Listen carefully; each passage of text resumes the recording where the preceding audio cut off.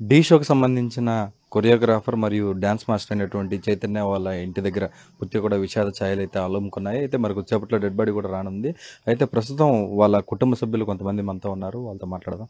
అమ్మ చెప్పండి ఎప్పటి నుంచి ఈ చైతన్య మీ మీ ఊర్లో ఉండేవాడు? అసలు ఏంటి చైతన్యతో ఉన్న మీ రిలేషన్ ఏంటి? చిన్నప్పుడు వెళ్ళిపోయారు వాళ్ళు హైదరాబాద్. పది సంవత్సరాలు ఐదారు సంవత్సరాలకి వెళ్ళిపోయాను కదా. మా పెళ్ళప్పటికి వాడు తొమ్మిది నెలల పిల్లాడు. ఏమవుతారమ్మా మీరు?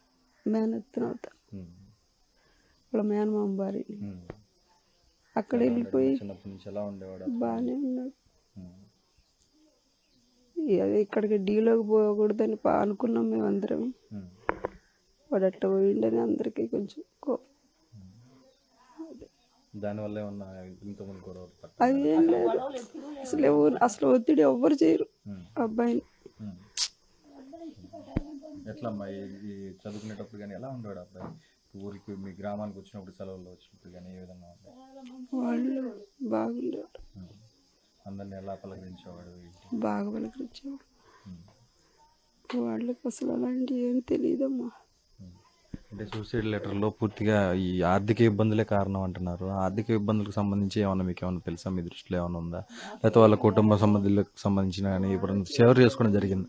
వాళ్ళకి పొలం ఉంది ఇరవై ఎకరాలు ఇక్కడ. వాళ్ళ అమ్మ నాన్నకి సమస్య? వాడు తీర్చే సమస్యలు ఏం లేవు. వాడితే వాడికి సమస్య. అంతే. చివరిసారిగా ఎప్పుడు మాట్లాడారమ్మా మీతో? నిన్న మా ఆయనతో మాట్లాడినంటయ్యా నేను ఎక్కడున్నావురా అని అడిగితే ఇట క్లబ్లో అక్కడ ఉన్నాను నెల్లూరు హోటల్లోను ఉంటే వస్తావా ఇంటికి అని అంటే సాయంత్రం వస్తా బీచ్కి వెళ్తున్నాను వాళ్ళ మామయ్యకి చెప్పాడంట. నాలుగున్న వాళ్ళ నాన్న రాత్రి పో అదే నాలుగున్నరకి ఈయన ఫోన్ చేసి రింగ్ అవుతుందంట కానీ ఎత్తలేదంట. తర్వాత మా విని ఉళ్ళ వాళ్ళ చెల్లెలు మామయ్య ఇట్ట లెటర్ పెట్టాడు వాడు. చూడు అక్కడికి వెళ్ళి అంటే వెళ్ళాడు. ఇంకా ఏమైనా పోలీసులకు చెప్పడం కానీ మీ వారు ఇలా జరిగిందని చెప్పి తెలిసిన వెంటనే కనుక ఆ వీడియో వచ్చినప్పుడు ఏమైనా పోలీసులను సంప్రదించడం కానీ ఏమైనా చేశారా?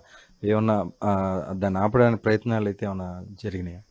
లేదమ్మా అసలు. ఆ టైమే లేదు. వాడు వేసుకున్నాడు ఐదు నిమిషాలకి అయిపోయింది అంతే. మేము మాకు తెలిసేసరికి చనిపోయి ఉన్నాడు. ఇంకే ఆపే ప్రయత్నం చేయడానికి వెళ్ళాడు. అయిపోయింది.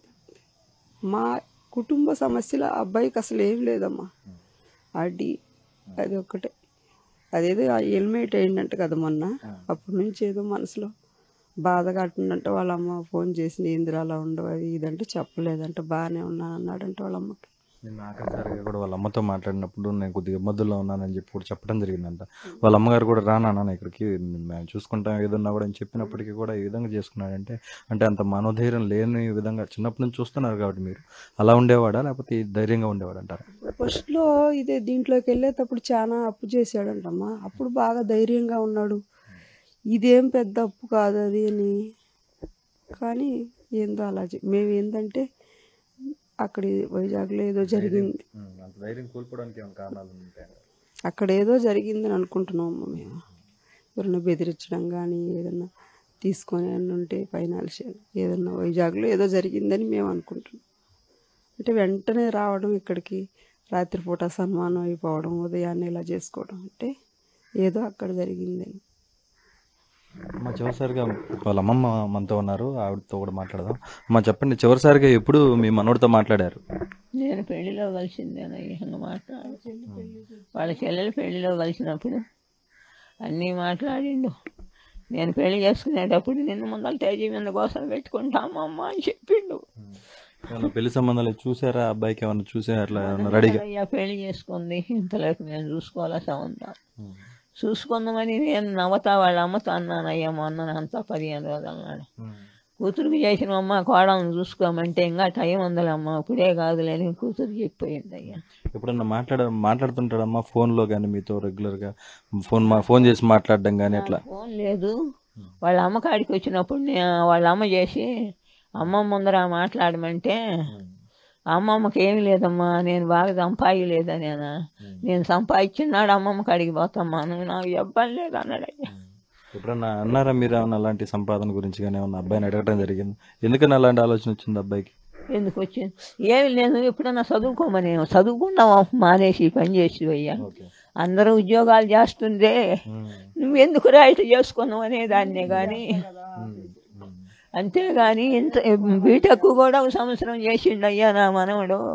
ఆడ నుంచి ఎందుకు దుర్బుద్ధి పుట్టి ఇవాళ మమ్మల్ని ఏడిపిస్తున్నాడు మాకు తెలవదు. అని ఇంకా ఆ కొరవ మూడు సంవత్సరాలు చేస్తే నా మనవడు ఉద్యోగం చేయకపోయిండా అని నేను ఇట్ట బాధపడ్డానయ్యా అంటే దానికి చెప్పిండయ్యా నాకు. అమ్మమ్మ ఉద్యోగం చేసేవాళ్ళ కాడికి నేను ఎక్కువ సంపాదిస్తాను నీకు ఆ కొర వద్దని చెప్పిండయ్యా అది ఒక్కటే కానీ ఇంకా మాకేమి చెప్పలేదయ్యాడు. ఏమీ తెలవదయ్యా నాకు. ఇక్కడ మనం చూస్తున్నాం చైతన్య ఫ్రెండ్స్ ఉన్నారు. అసలు వాళ్ళని అడిగి తెలుసుకుందాం ఏం జరిగింది అనేది అసలు చైతన్యకి అప్పుల కారణంగానే ఇది చేసుకున్నాడని ఇటువంటి సూసైడ్ చేసుకున్నాడని మీరు నమ్ముతున్నారు? అయితే మీకు చైతన్య ఎప్పుడు నేను తెలుసు? ఇక్కడికి వచ్చినప్పుడు మీతో ఎలా ఉండేవారు? ఎప్పుడైనా మీరు కలిసి ఉన్నారా క్యాజువల్గా అయితే నేను వన్ టైం కలిసాను అన్న అంటే పెళ్ళి పెళ్ళికి వెళ్ళాను. నేను వాళ్ళ సిస్టర్ మ్యారేజ్కి వెళ్ళినప్పుడు కలిశాను అక్కడ కలిసినప్పుడు బాగా సరదాగా ఉండేవాడు అందరితోటి. బట్ ఇలా అప్పులు అవుతాయి ఇలా సూసైడ్ చేసుకుంటాడు సెల్ఫ్గా ఎలా చేసుకుంటాడు అని మాకైతే తెలియదు ఇది సడన్గా షాకింగ్గా జరిగిపోయింది అసలుకి. వాళ్ళ ఫ్యామిలీలో కూడా కొంతమందికే తెలుసు ఇలా జరుగుతుంది. అంటే వాళ్ళ సిస్టర్కి వాళ్ళకి తెలుసు. అందరికీ జరుగుద్దని ఇలా అసలు ఎక్స్పెక్ట్ చేయలేదు ఎవరు. వాళ్ళ మదర్ కానీ వాళ్ళ ఫాదర్ కానీ ఎలా చేసుకుంటాడు. మ్యారేజ్ అప్పుడు కూడా మేము నేను నేను వెళ్ళాను మ్యారేజ్కి వెళ్ళాను. మ్యారేజ్కి వెళ్ళినప్పుడు బాగా సరదాగా ఉండేవాడు. చాలా బాగా ఉండేవాడు. ఈ చూస్తుంటాగా. డీజే డీజే డీజోడి ఇలాంటివి చూస్తుండగా బాగా ఎంటర్టైన్ చేసేవాడు అందరినీ. బట్ ఇలా చేసుకొని అందరినీ వదిలి వెళ్ళిపోతాడని మేము అనుకోలేదు. బాధపడుతున్నాం చాలా బాధపడుతున్నాం. మా మధ్య లేకపోవడం వల్ల చాలా బాధపడుతున్నాం. ఇప్పుడు ఈ ఊరికి పేరు తెచ్చిపెట్టాడు అతను. డి షోకి వెళ్ళిన తర్వాత ఈ ఊరు పేరు కూడా ఒక విధంగా అతనే ఈ ఊరికి ఒక వెన్ను తెచ్చిపెట్టాడు అనేటువంటి ఒక సందర్భం కూడా మనకు కనిపిస్తుంది. ఎందుకంటే ఎంతో మందికి ట్రైనింగ్ ఇచ్చి డి డి షోలో అతను శిష్యులుగా ఇప్పుడు చాలా మంది చాలా ఎత్తు స్థాయిలాగా వెళ్ళున్నారు. కాకపోతే ఇటువంటి సడన్ సిచ్యువేషన్ ఎదురుపడుతుంది అనేటువంటి పరిస్థితి ఎవరికీ తెలియదు ఇటువంటి సందర్భాల్లో ఎప్పుడైనా ఇక్కడికి వచ్చినప్పుడు మీరు కలిసినప్పుడు ఏదైనా ఒక నిరుత్సాహపరంగా అతను ఉన్నాడు అనే ఒక విభేదం ఏమన్నా మీకు కనిపించిందా? అలా ఎప్పుడు కనపడలేదన్న మాకు. నిరుత్సాహం అనేది ఉండదు అతని దగ్గర. బట్ ఇది సడన్గా జరిగిపోయింది అంతే షాకింగ్ బట్ ఇంకోటి ఏంటంటే అప్పులు అనేవి కామన్. ప్రతి ఒక్కరికి ఉంటాయి అనమాట ఇప్పుడు నాకుంటాయి నీకుంటాయి ఇంకొకరికి ఉంటాయి. అప్పులు అనేవి మన నిత్య నిత్య జీవితంలో జరుగుతూ ఉంటాయి. మనీ అనేది హ్యాండ్స్ మారుతూ ఉంటుంది. బట్ మనీ కోసం ఇలా సూసైడ్ చేసుకోవడం అనేది కరెక్ట్ డెసిషన్ కాదు. తోటి వాళ్ళు కూడా ఇలా చేసుకోవద్దు. తోటి డ్యాన్సర్స్ కూడా డబ్బుల దగ్గర అయిపోయినప్పుడు ఇబ్బంది పడ్డప్పుడు మీ పేరెంట్స్తో మీరు మాట్లాడుకోండి. ఇలా ఇబ్బంది పడ్డాం అమౌంట్ విషయంలో మాట్లాడుకొని ఏదైనా మంచి డెసిషన్ తీసుకోండి ఇంకో స్టెప్ తీసుకొని ముందుకెళ్ళాలి కానీ ఇలాంటి రాంగ్ స్టెప్ తీసుకోవడం కరెక్ట్ కాదనేది నా అభిప్రాయం. అయితే ఈ విషయం వాళ్ళ పేరెంట్స్కి కానీ వాళ్ళ చెల్లెళ్ళకి కానీ ఎవరికైనా తెలియపరుచున్నా కానీ అట్లీస్ట్ వాళ్ళ మేనమావులు బాబాయిలకి చెప్పున్నా కానీ సాల్వ్ చేస్తున్నాం అని కూడా చెప్తున్నారు. వాళ్ళు ఇంత వెల్ సెటిల్డ్ ఫ్యామిలీ అని కూడా చెప్తున్నారు. ఇది ఎంతవరకు కరెక్ట్ వెల్ సెటిల్ వెల్ సెటిలే అంటే అసలు పరంగా అంత ఎక్కువ లేకపోయినా కానీ మేనేజ్ చేసుకునేంత బెటర్గా ఉన్నాయి. ఈ చిన్న చిన్న అప్పుల్ని మేనేజ్ చేయొచ్చు. పేరెంట్స్ని చెప్తే పిల్లల్ని చంపేంత ఇదిగా ఉండదు కదా.